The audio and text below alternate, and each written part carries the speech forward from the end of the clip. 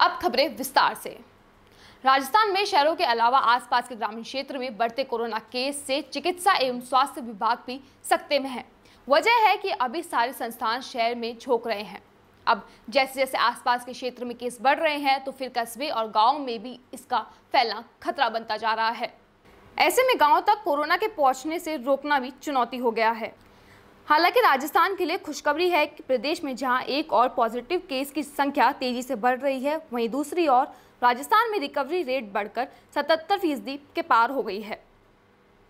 प्रदेश में अब 3000 से कम एक्टिव केसेस है। प्रदेश में केस की संख्या 2721 है।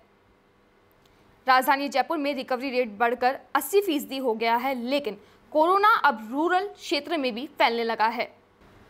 राजधानी जयपुर की बात करें तो बुधवार को 60 पॉजिटिव केस सामने आए हैं। इसमें से 26 केस गोविंदगढ़, जामडोली, बस्सी, कोटपुतली आदि के थे जवाहर नगर क्षेत्र के हैं, जिसमें एक डॉक्टर भी पॉजिटिव आए हैं। तीन जानों की मौत हुई है, केवल रिपीट, कुल पॉजिटिव दो है और मौतों की संख्या एक सौ इकतीस है। राजधानी जयपुर में 24 घंटे में सिर्फ़ एक हज़ार की जाँच हुई है। जयपुर में 2,702 संक्रमित है। इसमें से 80 फ़ीसदी से ज़्यादा रिकवर हुए हैं।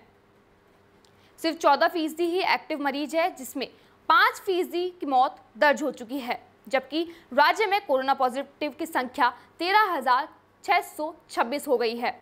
पिछले 12 घंटे में चौरासी और नए मामले पॉजिटिव सामने आए हैं जिसमें भरतपुर में इकतीस जयपुर में 28, सिरोही में सात झुंझुनू में छः झालावाड़ में पाँच चूरू में तीन डूंगरपुर में दो राजसमंद में दो पॉजिटिव केस सामने आए हैं।